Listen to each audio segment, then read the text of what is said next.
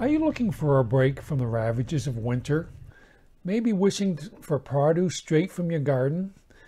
Did you know that you can grow green onions from kitchen scraps right in your kitchen window? Hello, this is Stephen from ShortSeasonGarden.com and I offer tips and tricks for gardening in any climate, but especially for short seasons like here in Zone 3 in Eastern Canada.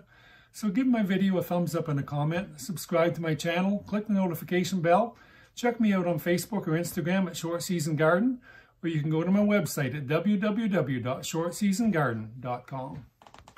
To grow green onions from kitchen scraps, simply save the bottom inch or so of each onion plant and place it in water.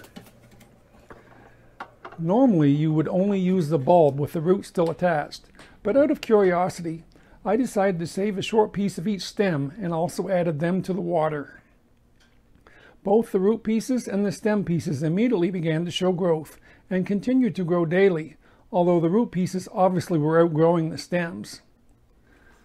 On day four, I carefully placed both the stem pieces and the root pieces in damp potting soil in two separate pots, using the handle of a screwdriver to make planting holes. I added soil around the pieces right up to the fresh growth and watered them well.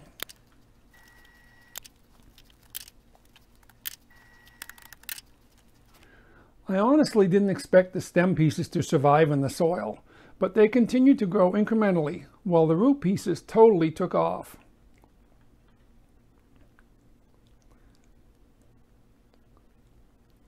Each day I carefully watered the onions, and each day they grew. If you work a day job in Zone 3 in January, unfortunately it's hard to get daylight pictures on a work day, but you can see that the plants were growing vigorously. The onions started from stem pieces really look strange as the new growth stretches out of the old stem, but they were definitely growing. If you harvest individual scallion pieces from different plants, you can continue the harvest indefinitely.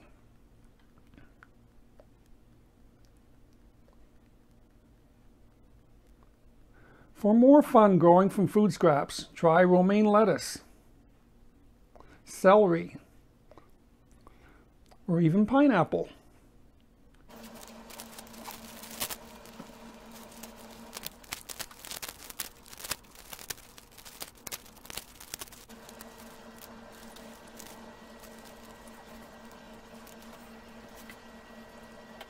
Just don't plan on harvesting your pineapples this year.